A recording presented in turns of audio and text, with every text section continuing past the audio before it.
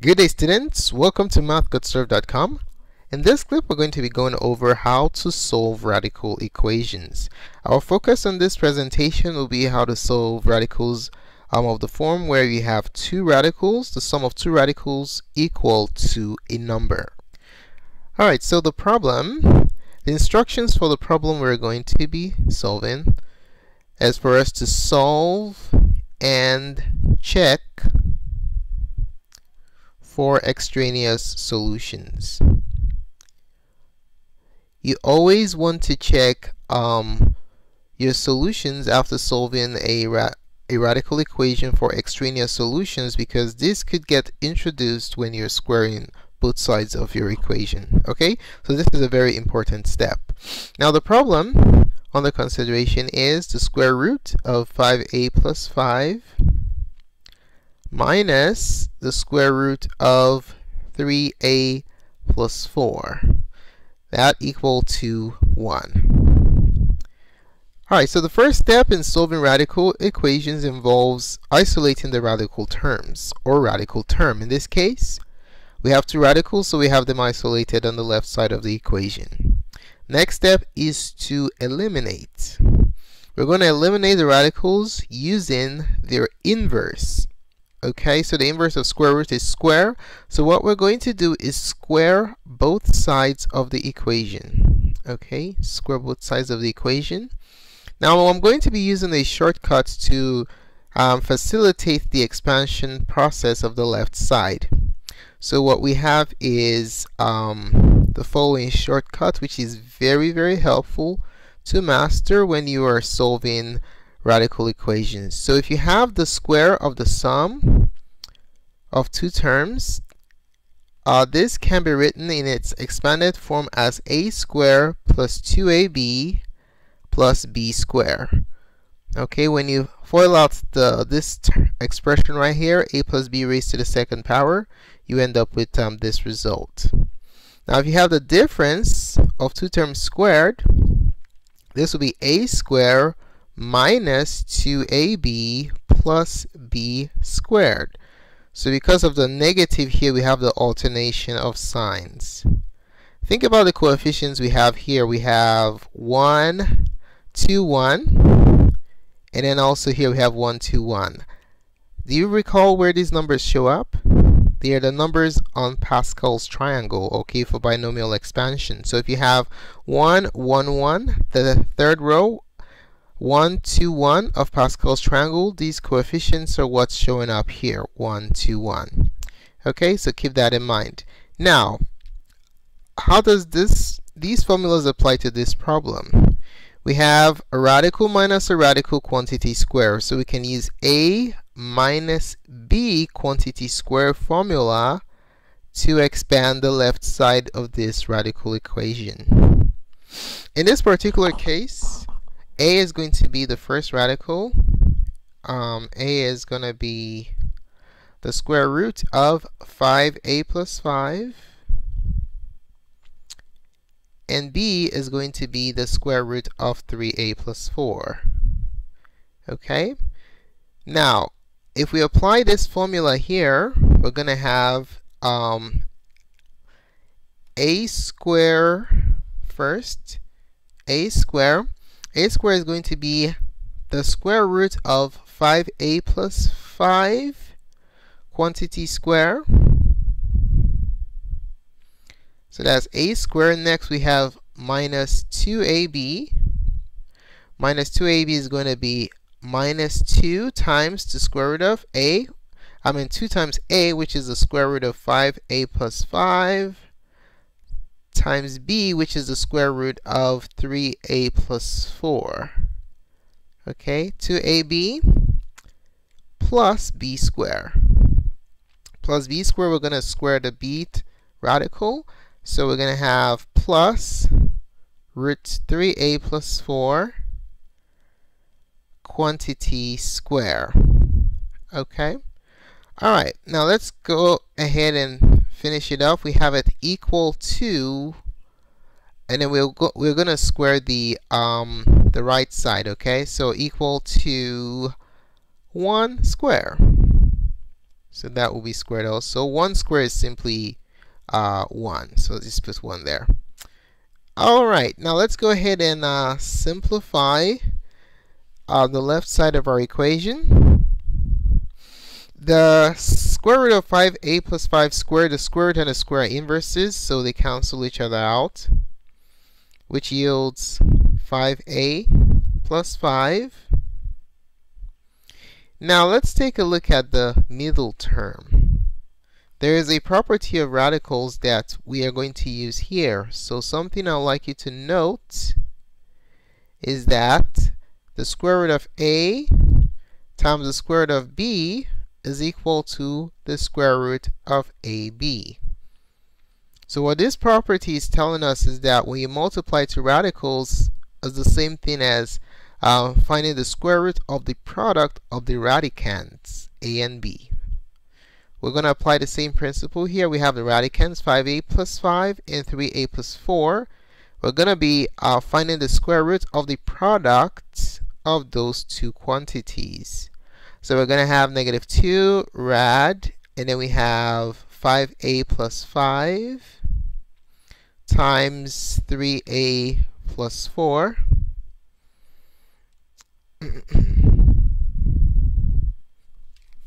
Alrighty, and then um, plus. Now the right, the last term, the square root of 3a plus 4 squared, these are inverse operations, so they cancel each other out and we are left with 3a plus 4. Okay, so that's equal to 1. Now let's go ahead and combine like terms. On the left side, we have 3a and 5a. They're like terms. We're going to combine them together. That yields 8a. And then we have um, positive 4 and positive 5 are like terms. Combine them together, you get plus 9 minus 2. Now we're going to just expand the, find the product of these two binomials here. Okay, since they're binomials, you can just FOIL them out. You have first, outer, inner, then last. So the first is going to be 15a square. Outer is going to be plus 20a. Inner is going to be plus 15a. It goes your inner right here. And then last, 5 times 4 is going to be plus 20. Okay, so we're taking the square root of that entire expanded um, expression. That's equal uh, to 1. Alright, so let's go ahead and simplify the radical term. So we notice that there are like terms um, in the radicand that can be combined. Alright, so we have 15a squared. The middle terms in the radicand are like terms, so they can be combined to yield uh, 35a plus 20. Okay, so that entire expression equals 1. Alright, now the goal again is to isolate the radical. Initially we had two radicals.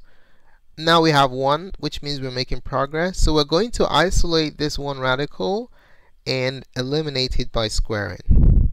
To achieve this, let's move everything else to the right side. So we're going to subtract 8a from both sides.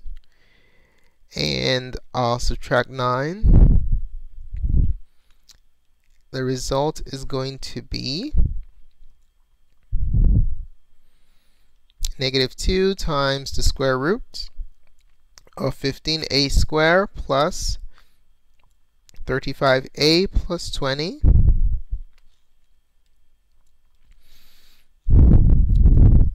all that equals to uh, we can switch this around negative 8a 1 minus 9 is negative 8 now let's go ahead and get the radical isolated. To accomplish that, we'll divide both sides of the equation by the coefficient of the radical term, which is negative 2. Okay, divide by negative 2.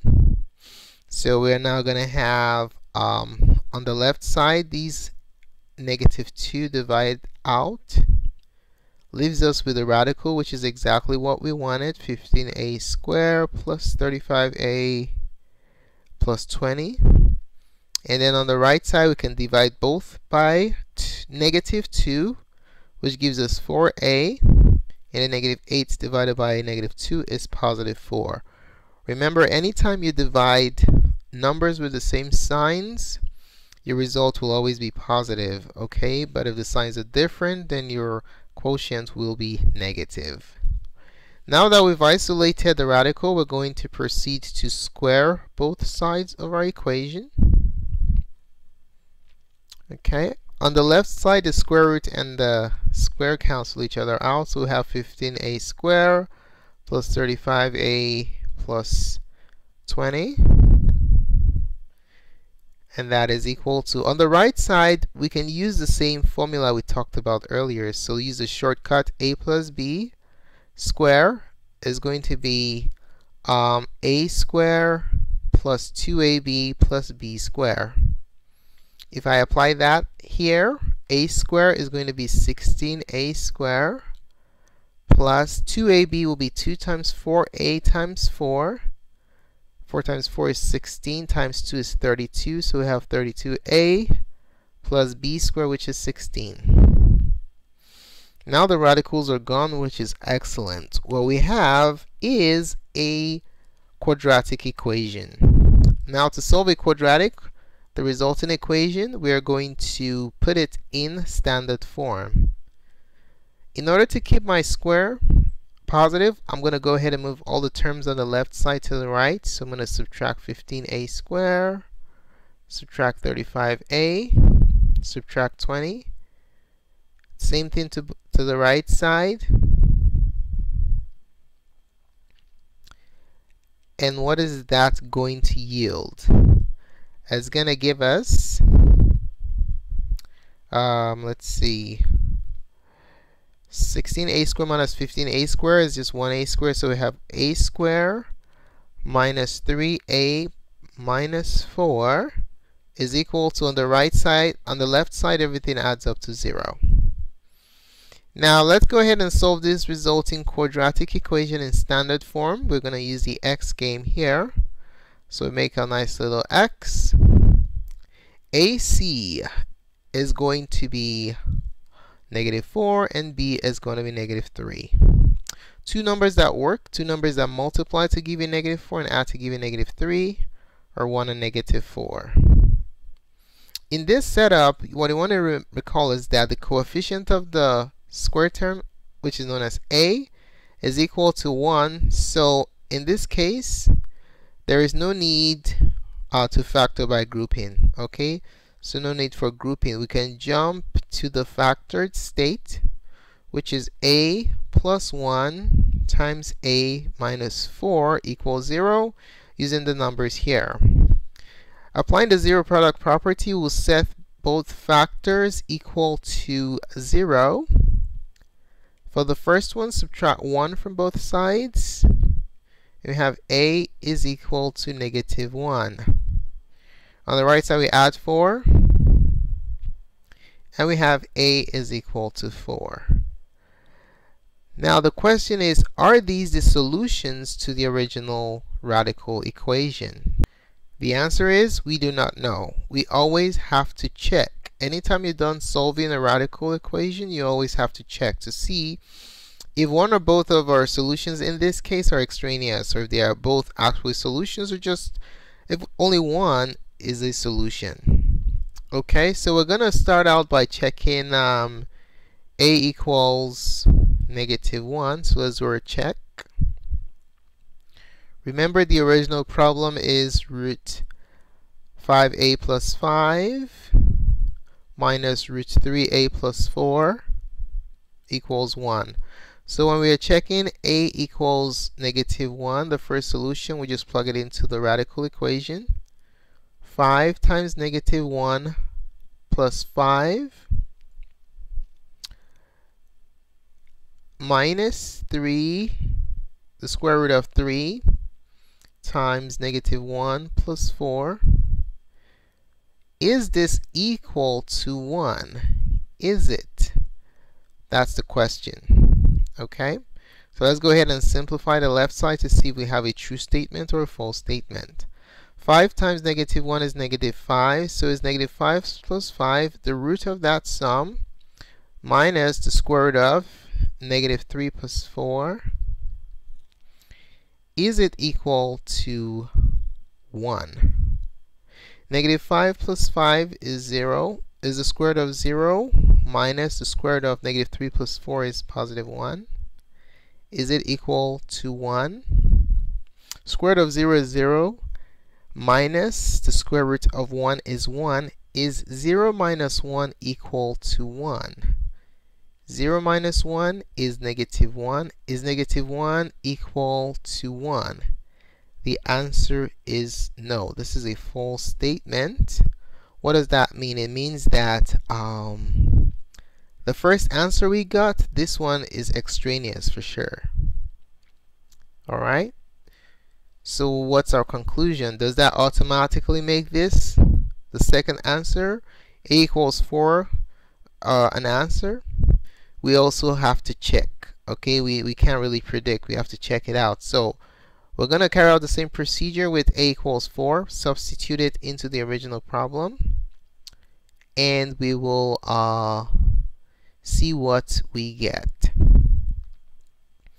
Okay, so substituting 4 into the first radical, we have the square root of 5 times 4 plus 5 minus the square root of 3 times 4 plus 4. Uh, is this equal to 1? Is it? 5 times 4 is 20. Is 20 plus 5, the square root of 20 plus 5 minus the square root of 3 times 4 is 12 plus 4. Is it equal to 1? 20 plus 5 is 25.